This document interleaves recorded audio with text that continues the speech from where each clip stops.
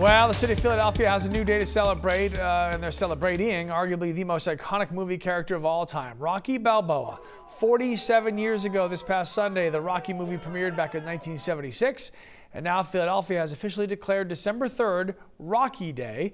The man who played Rocky, Sylvester Stallone, took part in the festivities. Many people celebrating by running those Rocky steps at the Philadelphia Museum of Art. At the bottom of the steps is the Rocky store. Serves as a visitors center with certainly plenty of Rocky merchandise and movie memorabilia. Fans from as far away as Europe and South America made the trek to be part of this historic day. So not only was Rocky, well, Sylvester Stallone the star of that, but obviously he wrote it and he produced it and he put his whole career on the line for that mm -hmm. one mm-hmm. script. Worked out, worked out okay. Yeah, worked yeah. out okay for him.